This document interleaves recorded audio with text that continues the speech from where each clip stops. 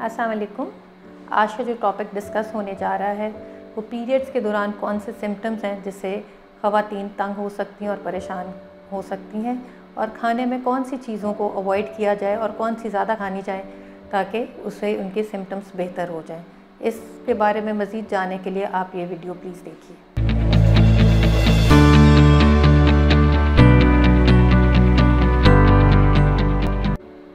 असलकुम मेरा नाम डॉक्टर शमाइला हनीफ़ है और मैं प्रोफेसर ऑफ़ गाइनी ऑप्स फाता मोरल हॉस्पिटल लाहौर में काम कर रही हूँ। तो आज हम डिस्कस करना चाह रहे हैं कि खाने में कौन सी चीज़ें हम अवॉइड करें और कौन सी चीज़ें हम ज़्यादा लें ताकि ये सिम्टम्स कम हो सकें। सबसे पहले जो रिकमेंड किया जाता है वो ये है कि फ्रूट्स और वेजिटेबल्स की इनटेक ज़्यादा होना चाहिए, जिसमें ग्रीन लीफी वेजिटेबल्स हैं, जो कि पालक में हो गई ब्रोकली हो गई बंद गोभी हो गई, इसके साथ साथ कैरेट गाजर ये लेना ज़रूरी है, जिसके अंदर फ़ाइबर कंटेंट भी ज़्यादा होता है, ताकि नोज़ी और वॉमिटिंग कम हो और ज़्यादातर मैदा फुल रहता है और आपको क्रेविंग्स नहीं होती बार बार मीठा खाने के लिए। इसके साथ पानी का इंटेक ज़रूरी है। अगर आपका जिसम डिहाइड्रेटेड रहेगा, पानी कम रहेगा तो पीरियड्स के दौरान जो हेडेक्स है, उसकी शिद्दत बढ़ जाती है। सो छः से आठ ग्लास पानी आप रोज़ाना पीरियड्स के दिनों में ज़रूर लें।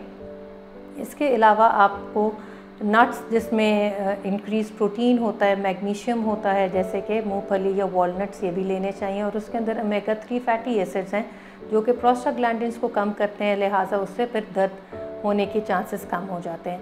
हाई प्रोटीन इनटेक का कहा जाता है, जिसमें फ़िश और चिकन इसमें आप चिकन बेक करके ग्रिल करके या सालन में जिस तरह भी आपके घर में पक रहा है, आप ये ज़्यादा लें, ताकि इसकी वजह से भी एक तो आपका मैदा फुल रहता है और आपको पेन होने के चांसेस कम रहते हैं।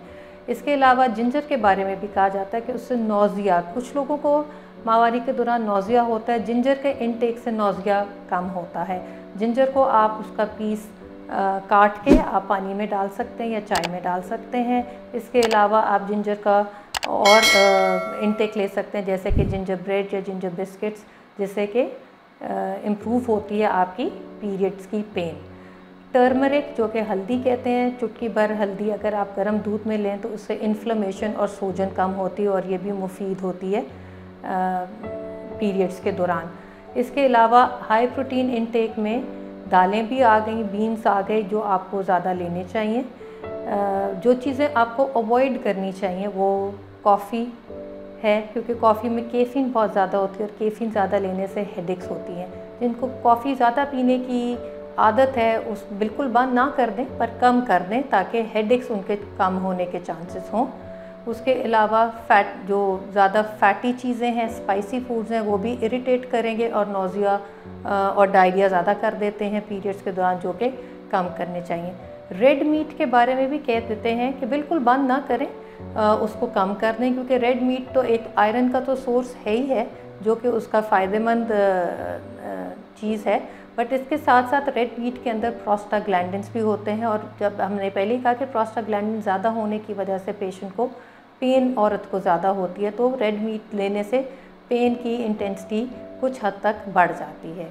आ, वैसे आपको रोज़ाना वॉक भी करनी चाहिए जितनी आप कर सकते हैं योगा एक्सरसाइज ये सारा कुछ हेल्पफुल है आपका मूड एलिवेशन करने के लिए और आपकी दर्द कम करने के लिए। जो चीज़ और मना किया जाता है वो ये है कि डायरेक्ट आप शुगरी चीज़ें अवॉइड करें, जैसे कि आइसक्रीम केक्स बिस्किट्स क्योंकि ये रिफाइंड शुगर है। जिस तरह आप इसका इनटेक करते हैं, आपकी बॉडी में फ़ौर एनर्जी लेवल बहुत ज़्यादा हो जाता है और उसी स्पीड पे एनर्जी लेवल घट भी जाता है, जिससे आपका मूड डिस्टर्बेंस बढ़ जाता है। तो डायरेक्ट शुगरी चीज़ों के अलावा बेहतर है कि आप होल ग्रेन की चीज़ें लें ब्राउन ब्रेड लें इंस्टेड ऑफ़ वाइट ब्रेड लें, आप फ्रूट्स ले लें जो कि कॉम्पनसेट करते हैं। अगर आपको मीठे का बहुत शौक़ है तो फ्रूट खाना बेहतर है बनस्बत के आप केक्स या पेस्ट्री लें। इसके बा, इसके बावजूद अगर आपको दर्द पीरियड में बहुत ज़्यादा है जो कि आपके रोज़मर्रा के ज़िंदगी को अफेक्ट कर रही है तो मेरा मशवरा होगा कि आप अपने गायनेकोलॉजिस्ट को रजू करें कि उस सूरत में आपका मुआयना और सर्टन इन्वेस्टिगेशंस चाहिए ताकि आपको मेडिसिन दी जाए। शुक्रिया। अगर आप पीरियड्स के मसाइल के बारे में और जानना चाहते हैं तो आप मरम डॉट पी के से मुझसे कंसल्टेशन ऑनलाइन या इन क्लिनिक में ले सकते हैं। शुक्रिया।